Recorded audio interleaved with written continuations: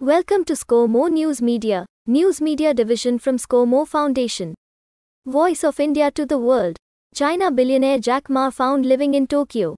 Chinese billionaire and e-commerce giant Alibaba founder Jack Ma who ran into trouble with the Chinese government over violating anti-monopoly regulations and kept a low profile since 2020 is now living in Tokyo. Thank you for watching.